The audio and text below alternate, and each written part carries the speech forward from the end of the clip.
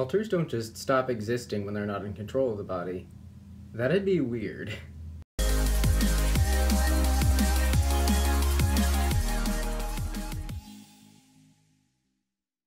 Hey everyone, my name is Parsifal and today I'm going to be talking about inner worlds. Now, an inner world is where alters go when they're not in control of the body. It's a place in the mind where alters can reside and it can be just as real as the world out here.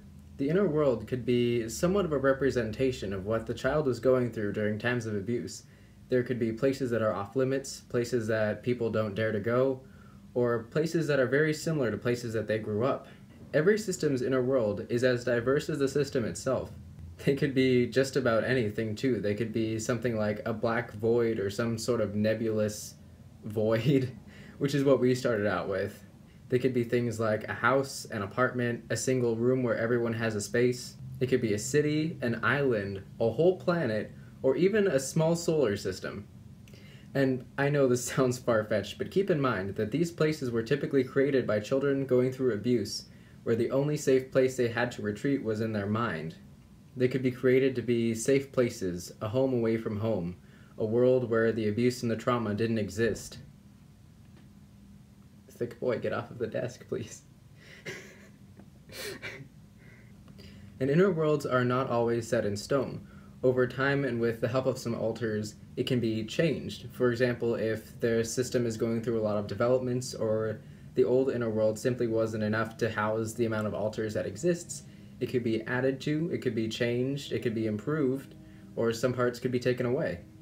And if you happen to have a larger inner world, more of it could be discovered like what we do. Over time you could unearth more parts of your inner world, and along with these new places you're discovering, you may also discover more alters.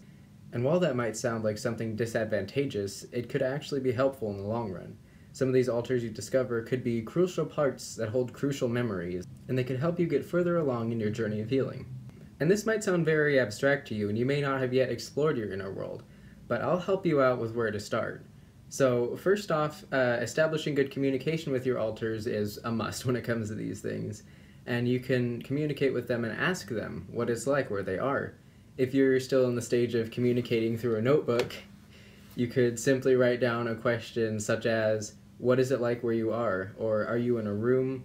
Are you in a house? Where do you live? Something like that, and you may get some descriptions like that as well. And that may be a good first step when it comes to discovering your inner world because having a vague description of things is always good. Now, a method that we tend to use is getting a visual on a specific alter, like trying to look inward. It's almost like when you're in a video game and you die and you go into spectator mode and you kind of watch what's going on from afar. That's what we mostly experience when we're looking into the inner world and alters can go and explore and you can watch them and see what they discover although it's always good to make sure that they know you're watching them so it's not awkward and you're not stumbling upon something you shouldn't stumble upon quite yet. Now sometimes exploring your inner world straight off the bat and diving in completely may not be the best idea for you. There may be some things out there that would be better to remain unearthed for a little bit or at least until you're ready for it. When it comes to exploring your own inner world, you have to really listen to yourself or selves and kind of figure out what's best for you at the given time. If you're not in a very good state, you may not want to go into that room that no one dares to go into. You may want to wait until you're in a better headspace for that. Like I mentioned, everyone's inner world is unique, and you shouldn't feel like compelled to have a similar inner world as other people. Each one is tailored to the system and its needs, and that could develop over time. And now, I also mentioned that some of us have inner worlds that more resemble planets, and we are one of them. As a system with roughly 108 alters currently, uh, a house would not suffice. We would be at each other's throats constantly, so we needed something bigger. Now, we've had this inner world the way that it is for a very long time. I'm not exactly sure when it started, but when we first became aware of it, it was somewhat of a nebulous void. But with further exploration, we discovered that there was this planet that's been there for very long, and I wanted to share it with you today. So, first off, creating a map is something that's very good for inner worlds and such. There are apps you can get where you can design houses and kind of tailor things to how it looks in there. You can also use things like The Sims. Uh, that sounds a little bit weird, but it's actually very effective if you have a smaller inner world. or you can draw it yourself, or you can do what we did and create a painting. Uh, we have it sitting up on our wall over here, and we might make that our background for future videos, but at the moment it's at a very odd angle, and the college-issued furniture is kind of an obstruction. But one of the things that I really wanted to share was a little video that we made uh, of painting it, because it's a very large painting, and we found this canvas at Goodwill, and it started out as a very blank thing, but we had some very great additions that we did to it. And I wanted to show you this um, sort of speed paint video that I've made of this. So without further ado, this is what it looks like inside our head.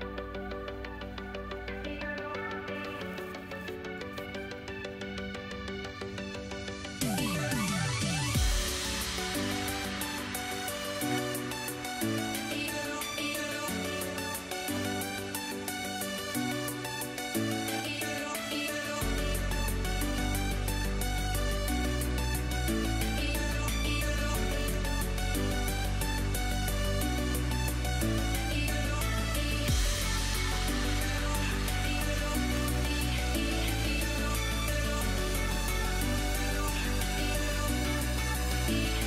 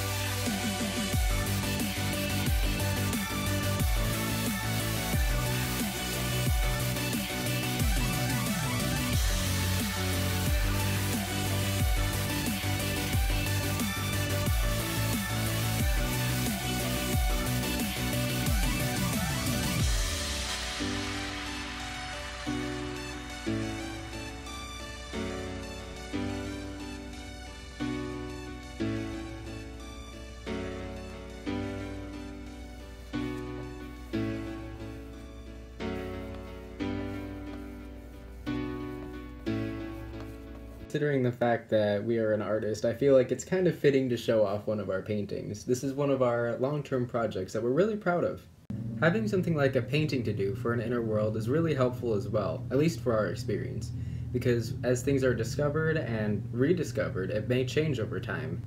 And paint is one of those substances you can keep working with for a long time. You can paint so many layers over something and it'll still look good. So currently it looks somewhat like this, and it's not yet complete. We're going to add the titles of the different regions and like the names of the places, and that's going to be in part two. Like you may have seen, this is a part one video of Inner Worlds because if we got into talking about what our inner world is like exactly, what the dynamics are, and who lives where, this video would be roughly an hour, and I don't think people really have time for that. So in place of making this video half an hour long, I'm going to cut it into two parts. And before I start making part two, if anybody has questions about what this world is, what these strange structures are, who lives where, I'd like you to leave these comments down below and I can address them in the following video. Uh, thank you for watching and I hope you all have a good evening.